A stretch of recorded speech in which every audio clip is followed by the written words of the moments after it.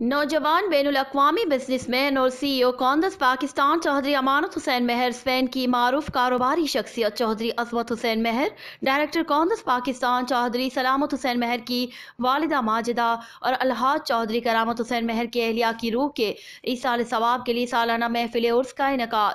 گڑھا جٹا سرائے عالمگیر میں ہوا۔ عرص مبارک کی محفل میں پیر طریقت رہبر شریعت، سجادہ نشید دربار عالیہ، مہدی شریف حضرت پیر سلطان بزر جمہر نے خصوصی طور پر شرکت کی۔ محفل میں پاکستان کے مشہور نعت خواہ حضرات نے نبی کریم صلی اللہ علیہ وآلہ وسلم کی بارگاہ میں نذرانہ عقیدت پیش کیا۔ محفل کے آخر میں نوجوان بین الاقوامی بزنس مین اور سی او کونگس پاکستان چوہدری امانت حسین مہر نے کہا کہ ہماری والدہ محترمہ نے پینتیس سال پہلے اس عرس پاک کی محفل کا آغاز کیا تھا اور وہ بڑی عقیدت و احترام کے ساتھ اس کا ہر سال اہتمام فرماتی تھی۔ والدہ کی وفات کے بعد ہم نے بھی آج تک محفل پاک کو ہر سال باقاعدگی سے جاری رکھا ہوا ہے اور آئندہ بھی جاری رہے گا۔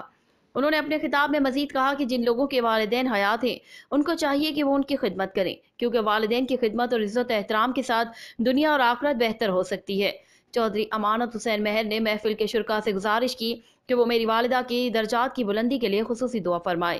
چودھری امانت حسین مہر نے محفل میں دور و نزدیک سے شریک ہونے والے معزز مہمانوں کا شکریہ ادا کیا۔ محفل پاک میں سوشلسٹ پارٹی اسپین کے سینئر رہنما Hafiz Abdulrazzaq Sadiq, Sheikh Khalid Mahmood of Norway, Chaudhry Amir Nawaz, Chaudhry Safdar Barnali France, Chaudhry Yasir Rehania of Spain Chaudhry Shahzad Ashraf Rehania, Chaudhry Amir Shahzad Rehania, Zahid Zaban Chauhan Tahir زمان چوہان، شہزاد چوہان اور سینکڑوں کی تعداد میں لوگوں نے شرکت کی۔ محفل کے آخر میں حضور نبی کریم صلی اللہ علیہ وآلہ وسلم کی بارگاہ میں درود و سلام بھیجا گیا اور پیر طریقت، رہبر شریعت، سجادہ نشی، دربار عالیہ مہری شریف حضرت پیر سلطان بزر جمہر نے دعا فرمائی۔ ٹائم نہیں لیں گے آپ کا کیونکہ نروال ابھی اڑائی بجے جنازہ ہے تو کافی دوستوں نے ادھر نکل ہیں۔ صرف آپ سارے دوستوں کا، بھائیوں کا شکریہ ادا کرنا چاہتے ہیں۔ کہ آپ یہاں پہ تشریف لائے اس محفل میں اور خاص طور پہ موڑا شریف جو ہمیشہ پچھلے پینتیس چھتیس سال سے یہاں پہ آ رہے ہیں اور ہمارے درمیان میں آتے ہیں اور اس محفل کا انعقاد جو ہے وہ ہماری والدہ نے آج سے پینتیس چھتیس سال پہلے کیا تھا جو کہ موڑا شریف کے لیے رونائش کی جاتی تھی۔ اب ان کے اس کام سے اور اچھے کام سے یہ محفل موڑا شریف اور میری والدہ کے لیے بھی رونائش کی جاتی ہے۔ اب سب سے دعا ہے کہ میری والدہ کے لیے دعا ہے دعا کریں، ان کے درجات کے لیے دعا کریں۔ اور جو دوست یہاں پہ جن کے پیرنٹس زندہ ہیں، میری ان سے گزارش ہے کہ ان کی خدمت کریں۔ ان کے ساتھ کسی قسم کی کوئی بدتمیزی یا کوئی غصہ نہ کریں۔ کیونکہ اگر آپ والدین کی عزت کریں گے، تو آپ دنیا میں بھی اور آخرت میں بھی کامیابی پائیں گے۔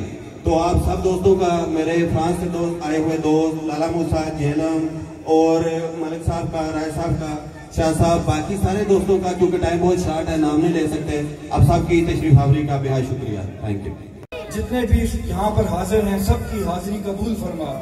یا اللہ، تو ہم سب کے دلوں کا حال خود جانتا ہے۔ یہ جتنے جتنے ہاتھ تیری بارگاہ میں ملتمس ہیں، ان سب کے دلوں میں جو جو جائز حاجات ہیں۔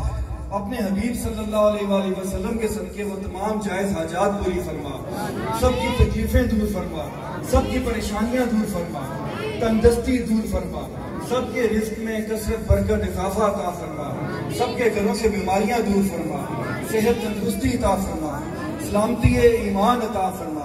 یا اللہ، آج کا یہ اتمام لنگر اس کو وسیلہ شفا بنا دے۔ جو جو یہ لنگر کھائیں، ان کی تمام بیماریاں دور ہوں۔ روحانی و باطنی بیماریاں دور ہوں۔ یا اللہ، رحم فرما، کرم فرما، اپنا فضل شامل حال فرما۔ تمام امت مسلمہ پر کرم فرما۔ یا اللہ، خصوصاً ملک پاکستان اور خاص طور پر اس علاقے گڑا جٹا پر اور بالخصوص جو اس جگہ پر اس وقت حاضر ہیں۔ سب پہ کرم فرما، سب پہ فضل فرما۔ یا اللہ، ایمان والی زندگی عطا فرما۔ مرتے وقت زبان پہ کلمہ نصیب ہو۔ لا الہ الا اللہ محمد رسول اللہ۔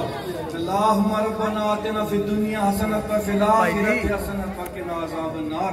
اللہم صلی علی محمد و علی آل محمد و بارک وسلم علیہ اجمعین. برحمتک یا ارحم الراحمین.